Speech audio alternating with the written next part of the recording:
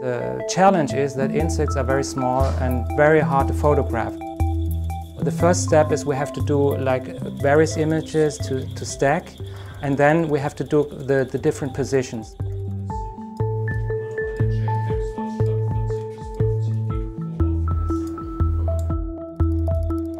For each insect we take about 3 to 5,000 images.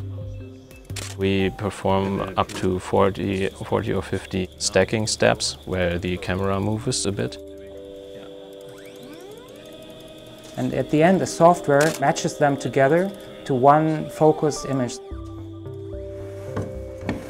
And we want to have all the information, we want to know where someone found this insect at what time. And then we can, with big data, we can do models of distribution, for example, and what is changing, for example, with the climate change. The project started at the beginning of 2013 and in this time we have digitized about 10,000 insect drawers from our collection. About a third we already have digitized, but a lot more have to be digitized in the future. We started scanning to open up the collection to the outside world. We, we tried like an approach where we can on the one uh, part do mass digitization with the drawers and on the other hand quality uh, digitization with very specific specimens.